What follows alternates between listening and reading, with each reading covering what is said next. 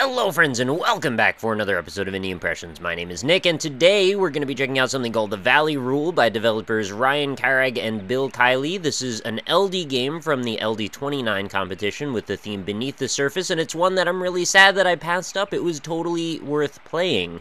I just happened to run into it on itch.io and it's a Metroidvania slash puzzle slash platformer and really, really pretty, well done, and amazingly only done in 72 hours. So I think this episode's going to come across a little bit more like a Let's Play than it is a critique, but I will get most of my critiquey stuff away uh, at the beginning, and then I'm not quite sure how long I'll play into it. This game's about maybe 12 to 20 minutes long, depending on how much you uh, dawdle along the way, or if you have any trouble solving the fairly straightforward puzzles. Uh, but, you know, it's really good. Let's start it up. The Valley Rule, here we go. So he plays this kind of cat girl. I well, I assume cat girl. I'm not really sure. I see the little pointed ears and the hair sort of looks feminine, but you know, I guess could go either way. Uh, character who will accrue some powers as we wander around in this very mysterious and beautiful environment. Uh, and we really aren't sure where to start with going, so I guess I'll just kind of pick a direction and head in it and hope for the best. As I move over to the right, I'm noticing, well, a number of things here. Really nice little details, uh, bits of grass, particle effects and such. Uh, we've also got these things, whatever these are, and, well, they kind of read a little bit like ropes or ladders hanging down. I think if I was to have one criticism, uh, it would probably be that these just read like you can climb them, but you can't. They're just kind of for, uh, you know, visual effect. Uh, then we've got this big gate here with these four triangles on the sides, and what these are actually just kind of keyholes, and we need to go find some powers to go find keys to then unlock that gate, and I believe that's where we finish the world. Uh, so there's a number of things we can explore here. For one thing, this is a gate, and you'll see there's a button right above it. Uh, level design is pretty intelligent in that most of the time you are able to see directly what you're affecting when you affect something. In this case, they did a good job there. And we also have to avoid falling in whatever this white fluid substance is. I've been calling it milk, but, you know, I guess you could take it in a number of directions. Uh, I actually also passed up a direction down here, which I think I don't want to end up in, but I don't remember. Uh, yep, don't want to do that. That's a little bit too far of a gap. I can't quite make that jump. Got great ambience and atmosphere as well. Uh, the music that's playing in the background is very elegant, very classy and the sound effects also got they have a kind of a nice retro feel that complements uh, what's going on in the actual visual realm as well. Uh, okay, so we've gone through a door, and this is a checkpoint. We just hit up on that, and we get a game save notification. And this is our first little block puzzle. It's nothing too crazy. I think you guys can probably figure it out pretty quickly. Uh, we need to get all the blocks in play with all the buttons, and we've got a little bit of an an annoying corner jump there to make. Uh, so how am I going to reach this?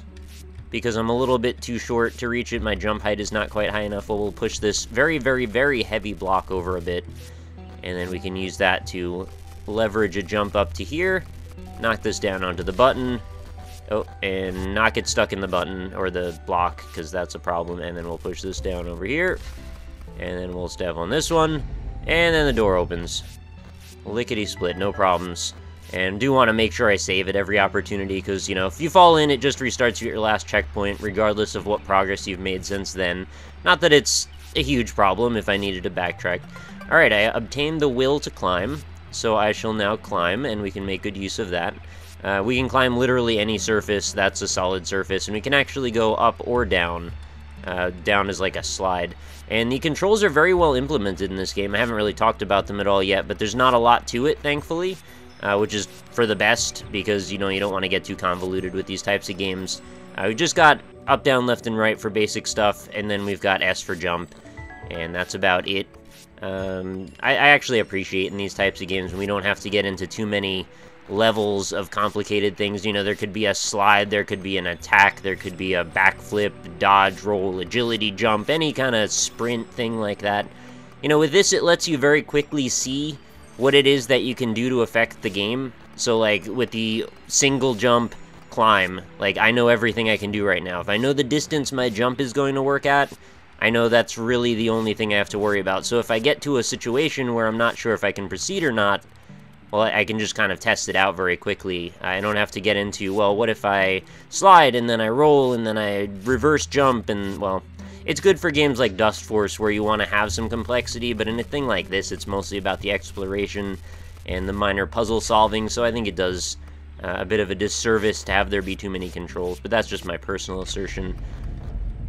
Alright, so we've opened up another gate there, and let's go through here. And I see a beautiful treasure chest up above. I'd like to go get that, but I think we're going to have to make our way to the right.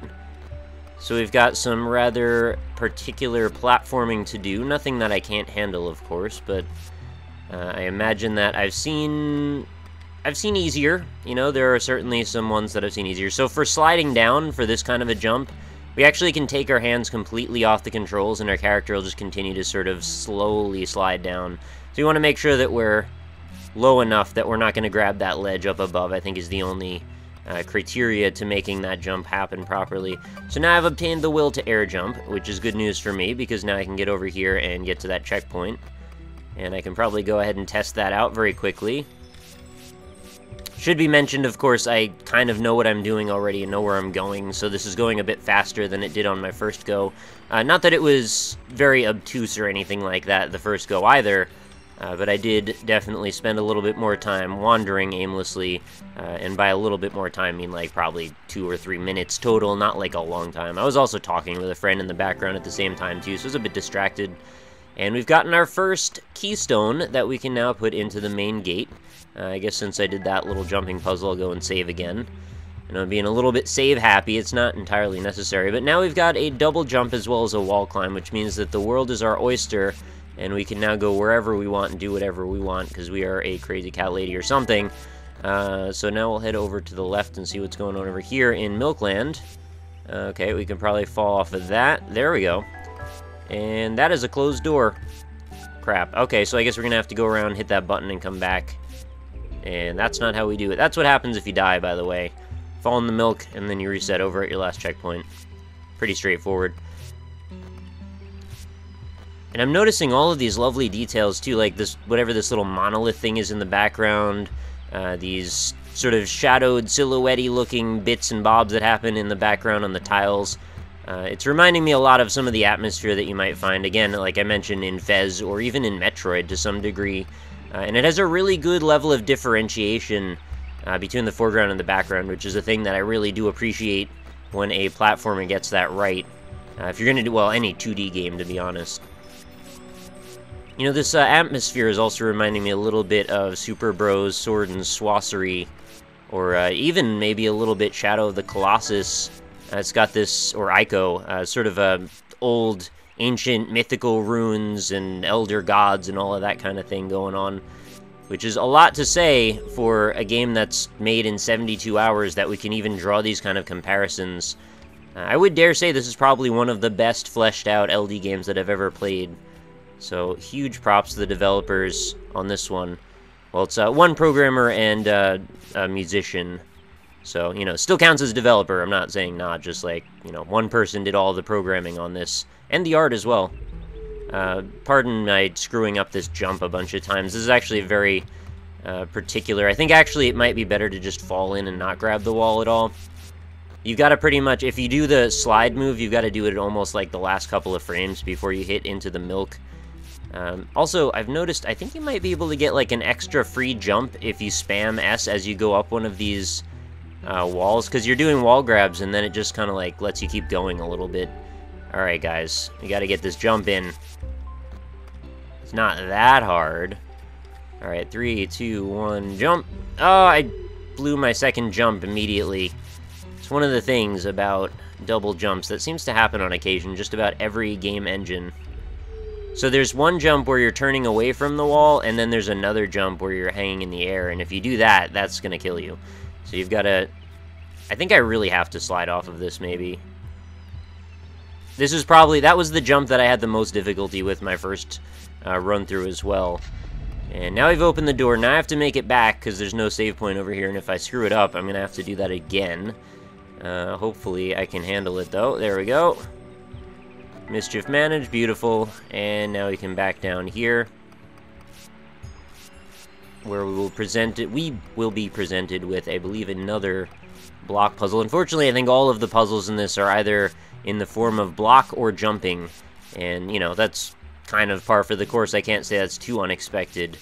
Uh, but the character does control pretty well, so I can't say I have a lot of gripes with that either. Oh, come on. I would love a little bit more backstory about what's going on in this game as well, because, I don't know, something about the atmosphere, it just really does interest me. Uh, so this looks like it could be complex for about five seconds, and then you realize it's really not that bad. Uh, so we're just going to kind of push these down one at a time. There are a total of five buttons, four of which have blocks corresponding with them, and it's actually symmetrical, so we can kind of just do this in both directions, and all is well. And we will unlock another key. I think the only way you could really screw this up is if you push the top blocks off next to the buttons. I'm not sure that they're able to jump that uh, edge. So then you would end up in a position where like the block is stuck next to the button and you just you kind of have to reset. And to reset in this, you have to kill yourself. There's no like R to respawn button or anything like that, unfortunately. And also probably don't want to botch that leap on the way out.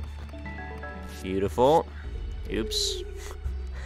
I don't know why I have so much trouble with these easy jumps, man. They're really not that bad. Okay, so we'll go back down.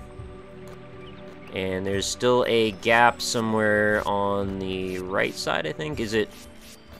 Oh no, we've already done all this stuff. We need to go back to the left now. And there's going to be a way down and a way up. And that should pretty much comprise the rest of the puzzling that will be done in this one. Are you guys not kind of blown away by this? Because I'm totally into it, and I just wish this was like a five-hour or more game. I could easily see this going on for a long... Oh, no! Saved myself from that. I didn't expect to be able to get myself wedged in there. Alright, so we've got another checkpoint. Also, pretty good work uh, with just only having two options as far as, uh, you know, Metroidvania exploration. We really only needed two power-ups in this whole game, and it did the job just fine. Uh, it doesn't need a whole lot of things to be able to interact with either. We pretty much made good work out of just jumping puzzles and buttons, like I said already. Uh, at least it was done in a kind of well-paced way, so it doesn't feel like it's all one and all the other. Alright, here we go. So this is probably going to be the most challenging jumping puzzle. Let's uh, take note, by the way, of where that button is, uh, where it kind of corresponds with the trickling water or fluid, whatever that stuff is, uh, it's to the right of it. That's what we need to know. Okay, so we're going to go up this, and it's going to probably take me a few tries, so this is not the easiest. Uh, uh, nope. It's uh, it, kind of interesting as I am a huge Meat Boy fanatic, coming from something like that, where jumps like this are possible, but like very unlikely with a single jump character. And having a double jump character certainly opens up options, but that's not really where the uh, predominant amount of my experience and expertise lies. You know, double jump characters play very differently than single jump. Uh, also, characters with huge amounts of run ability and agility, you know, the ability to make triangle jumps is, you know, rather interesting as well. And this is kind of what we're doing here, although with the added benefit of double jump. Actually, take that back. It's really, this character does not have much in the way of agility, just ability to go out pretty far to the left with a double jump. Sorry, I'm screwing this up. I'll get it. I've done it about three times. The first time I did it, I actually screwed up uh, a jump later on and had to do this again and was a little frustrated. It was a real silly one, too. Oh, no! I keep hitting into the ceiling. It sucks that when you fall, you freaking fall all the way back down, but, you know, the double uh, stack jumps are not all that bad. It's the going, transitioning from one to the other, from the double to the single sometimes can be a little awkward. There we go. It's like exact... Oh, just blew the second jump for no reason again. All the way back. Would have also loved if there were some secrets in this. Unfortunately, it's pretty much all of what there is to see is part of the game. Uh, you know, in 72 hours, making something this complex, I can't imagine you would have time to implement secrets as well, but uh, I was kind of hoping maybe that's what this was, because this does seem sufficiently out of the way compared to the rest of the puzzles in the game. Uh, I thought maybe this was like, oh, is this a thing no one's supposed to do, and I did it? Nah. Totally supposed to do this. Oh, oh, Last jump. No! I was so close. Darn. See, with that wooden platform at the bottom, it didn't require one of those little ladder things to prop me up, uh, or to prop it up. So it makes me wonder why they needed to be implemented for the other ones. Slightly inconsistent, I guess, but who really cares, right? Oh, no! Okay, I'm making this out, actually, to seem even harder than it actually is, I think. This is longer than it took me either of the other times that I climbed it. Well, what I could do is if this ends up taking too many more tries, like I'll give it one or two more tries, and then I could always just go over to the other area that I'm supposed to go to and leave this to be for you guys to solve, because there is actually kind of a cool thing up uh, at the top that you don't get to see anywhere else, if I remember correctly.